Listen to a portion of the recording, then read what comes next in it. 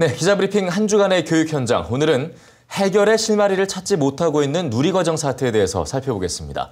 이동현 기자 스튜디오에 나와 있습니다. 안녕하십니까? 안녕하세요. 네. 자, 이동현 기자, 이 누리과정 논란 사실 굉장히 오랜 기간 어, 논란이 되어 왔는데 이 누리과정 예산 편성을 둘러싼 정부와 시도 교육 간의 갈등이 올해 그 어느 때보다 좀 심한 것 같습니다. 이유가 뭘까요? 네, 이 누리과정은 지난 2012년 도입 첫 해 만 5살 유아를 대상으로 시행하다 이 다음 해부터 만 3살과 4살까지 대상을 확대했는데요. 이 갈등은 이때부터 시작됐습니다. 이 정부는 누리과정 예산을 정부가 내려보내는 지방교육 재정교부금에서 지자체가 부담하도록 했기 때문인데요.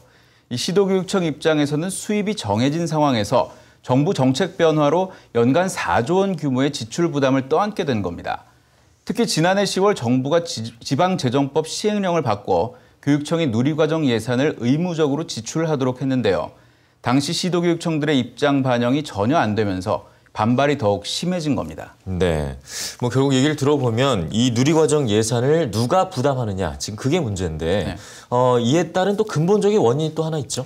네 맞습니다. 이 네. 원래 이 누리과정은 보건복지부와 이 교육부로 이원화되어 있는 어린이집과 유치원의 교육과정 관리를 통합해 차별 없는 교육을 하자는 취지로 시작됐는데요. 예. 같은 교육과정을 해도 유치원은 교육청이, 어린이집은 복지부가 관할하다 보니 통합 실시된 누리과정 예산 부족 문제가 불거지면 곧바로 책임 논쟁으로 이어지고 있는 겁니다. 네네. 하지만 정부는 올해 교부금 예산을 1조 8천억 원 더 올려주면서 이 시도 교육청이 누리과정 예산 편성에 문제가 없다는 입장인데요. 하지만 일부 시도교육청은 교사들 임금 인상이나 학교 시설 보수만으로도 모자란다고 반발하고 있는 상황입니다. 네, 계속 이렇게 지금 시간이 흘러갈수록 결국 제일 불안한 건 우리 학부모들과 또 아이들 아니겠습니까? 네. 어, 우려했던 보육 대란도 결국 현실화됐는데요. 네, 맞습니다. 현재 누리과정 예산을 전혀 편성하지 않은 지역은 서울과 경기, 광주, 전남 등 네 곳입니다. 지난 20일에는 이들 지역의 유치원 교사 월급이 지급되지 못하는 상황이 벌어졌는데요. 네. 유치원들은 그동안 운영비의 80% 가까이 예산 지원을 받아온 터라 당장 인건비 지급 중단이 우려되고 있습니다. 이 어린이집도 상황은 마찬가지인데요. 학부모들 역시 수십만 원의 비용 부담을 어떻게 해결해야 할지 몰라 불안해하고 있는 상황입니다. 네, 답답하군요. 네. 이 현장은 결국 해결책을 좀 찾아달라고 그렇게 아우성인데 정작 교육 당국은 이런 기대에 전혀 부응을 못하고 있는 모습이네요. 네, 그렇습니다. 어제 열린 그 시도교육감 협의회 정기총회에서는 이준식 사회부총리도 함께 참여해 누리과정 예산 문제를 논의했는데요.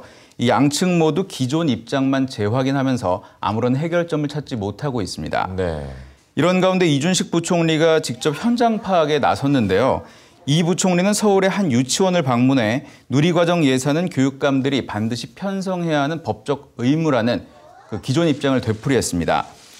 원론만 되풀이하는 부총리에게 함께 참석한 유치원 원장과 학부모들은 조속한 문제 해결을 촉구했는데요. 이 부총리와 현장의 목소리를 들어보시죠.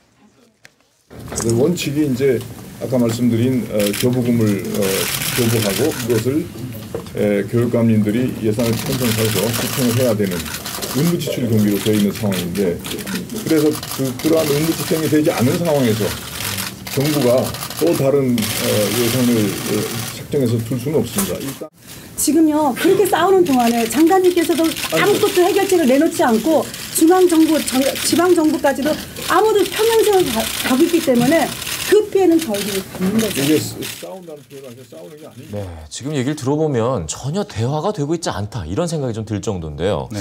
교육청과 정부의 줄다리가 계속 벌어지고 있는 동안 이 싸움이 결국 정치권으로 이제 번지고 있죠.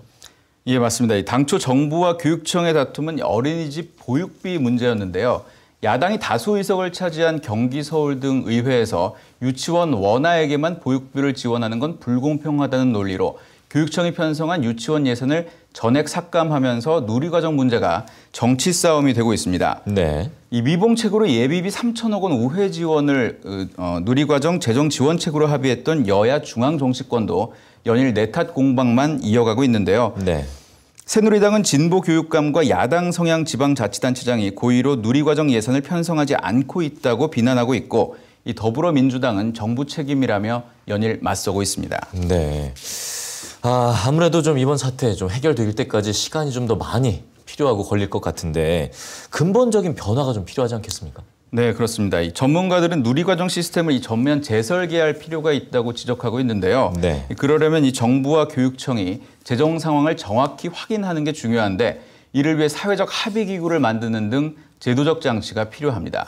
아무쪼록 우리 아이들의 생애 첫 교육인 누리과정 사태가 잘 해결돼 더 이상의 피해가 없어야 하겠습니다. 네, 뭐 정말로 우리의 미래를 걱정하고 또 정말 우리 부모님들의 심경을 조금이라도 이해한다면 내 탓 공방 정말 여기서 멈추고 이 방안을 좀 반드시 만들어야겠습니다. 예, 이동현 기자 오늘 말씀 잘 들었습니다. 고맙습니다.